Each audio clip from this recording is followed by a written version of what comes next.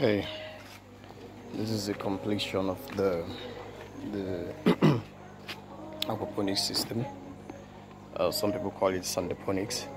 I'm still trying to make the ridges uh, for the plants. Let me put on the pump so you can see the system in action. Yeah? There you go. So this is a water pump shooting up water and um, you can see water will start flowing from there and return back to the fish pond. It's a flood and drain system. The flood and drain system. Very unique system this one. Takes less energy.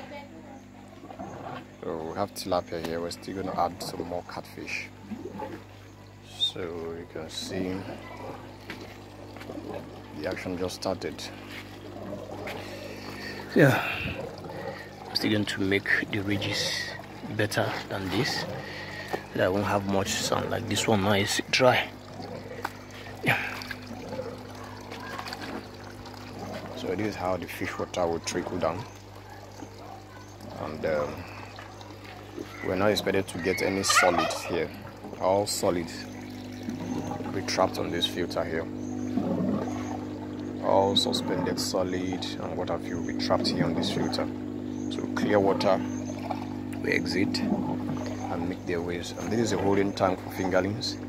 Um, I'm going to plumb this so that the overflow water also feed these guys and return back to the fish pond. So this is it.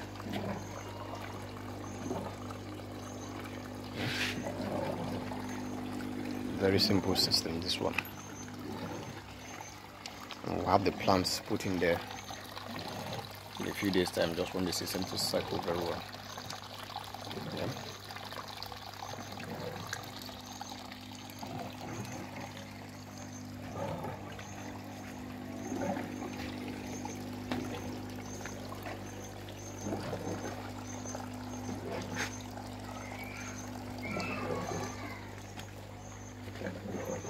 To see the return.